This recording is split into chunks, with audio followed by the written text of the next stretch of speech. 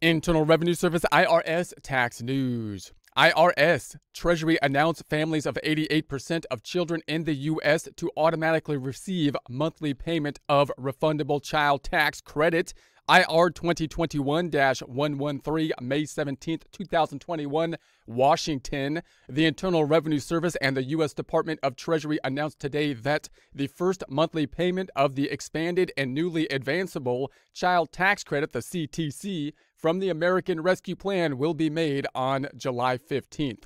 So, the general idea here is that the CTC, the Child Tax Credit, has been increased for 2021, and more of it has been made refundable, I believe. Refundable meaning that you can go below your tax liability. So, in other words, if you don't owe any taxes, you may still get a quote refund, end quote, if you have refundable tax credits, which aren't really a refund because it's not really a tax, it's kind of a benefit program at that point in time. But the fact that it's refundable allows it to be easier for them to project or predict what it will be. And so they want to then have a prepayment of that refundable tax credit. And it looks like they're going to pay that out and try to pay it out on a monthly basis. In other words, the child tax credit for 2021 is generally something that you would have to fill out the tax return in order to get for 2021. That means the year would have to end and you'd fill out the tax return in 2022 by April 15th and get the larger child tax credit because it looks like they increased it and they have more of a refundable portion. But they want to give it out now. That's kind of the point. They're trying to give out money at this point in time. So they increased it for 2021, and now they want to give the advanced payment. So they're going back to their standard tool here to give the advanced payment for something that's going to be on the tax return at a later year. So that's a 2021 credit. You normally wouldn't get it until you file the tax return in 2022 related to 2021, but they're going to give you the prepayment and uh, send it out early. And it looks like they're going to try to break that out into monthly payments. Then, what would have to happen is at the end of the year, you would imagine then they'd have to tell you how much they actually gave you in the form of the prepayment so that you can match it out to the actual credit that you should calculate on your tax return, which would be the CTC uh, calculation on the actual tax return. So that's the general idea, or at least my interpretation of it at this point in time. So, roughly 39 million households, covering 88% of children in the United States, are slated to begin receiving monthly payments without any further action required.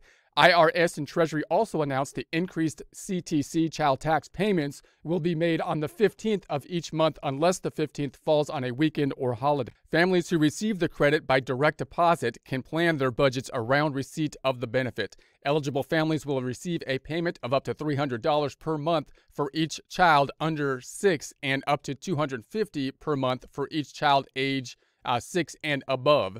So the general idea is if if you the child would be based on I think below 17 would be a child, but there's going to be a gradation between those under six, which might have a higher payment per child versus uh, six between six and 17. So we'll talk a little bit more about that here. The American Rescue Plan increased the maximum child tax credit in 2021 to $3,600 for children under age six and 3,000 per child for children between six and 17.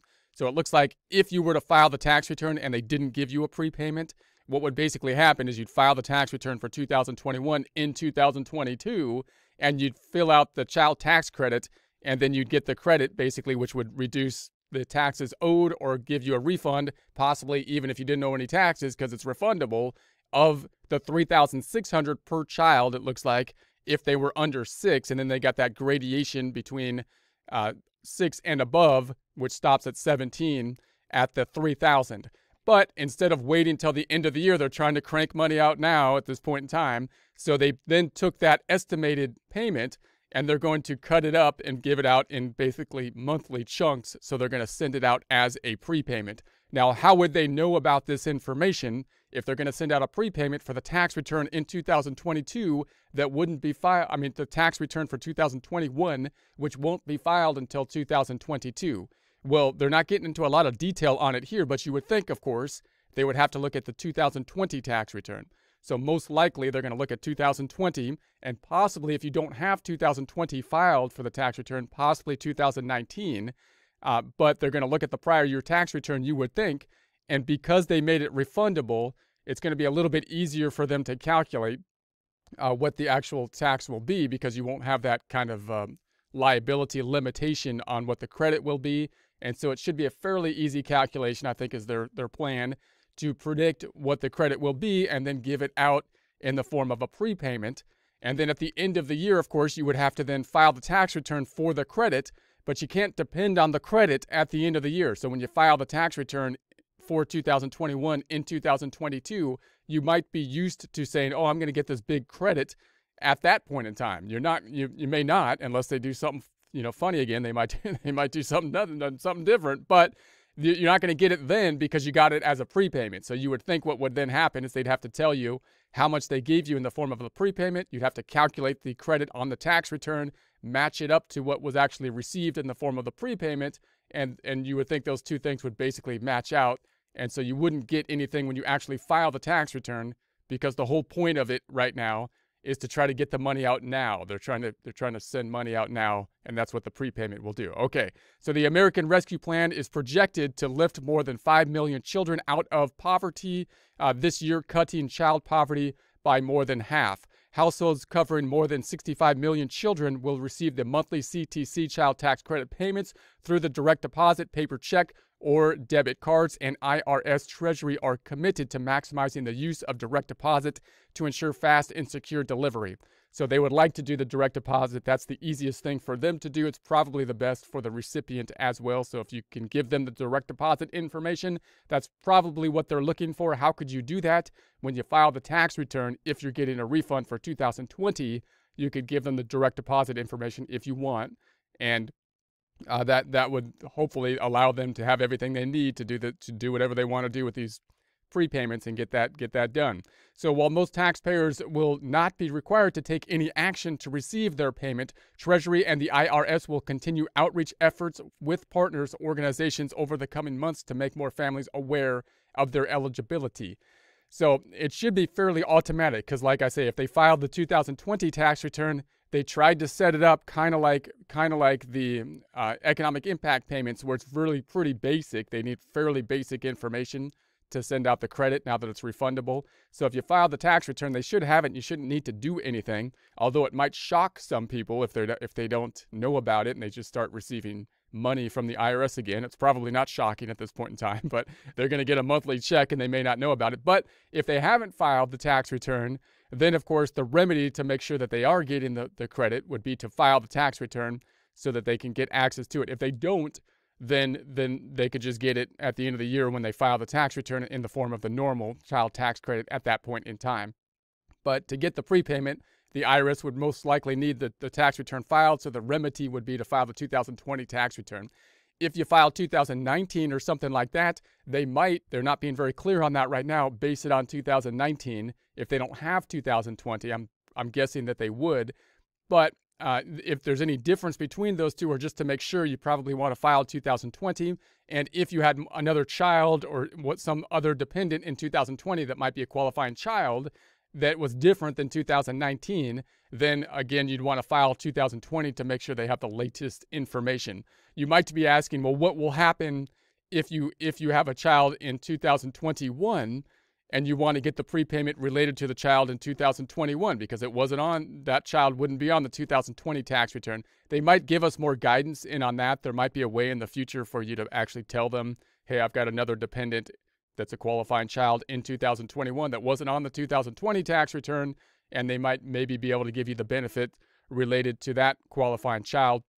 No guidance on that right here yet, but uh, but uh, we might see more of that in the future. So in any case, Today's announcement uh, represents the latest collaboration between the IRS and Bureau of the Fiscal Service and between the Treasury and the White House American Rescue Plan implementation team to ensure help quickly reaches Americans in need as they recover from the COVID 19 pandemic. Since March 12th, the IRS has also distributed approximately 155 million economic impact payments with a value of approximately $388 billion as a part of the American Rescue Plan. Additional information for taxpayers on how they can access the child tax credit will be available uh, soon at irs.gov forward slash child tax credit 2021.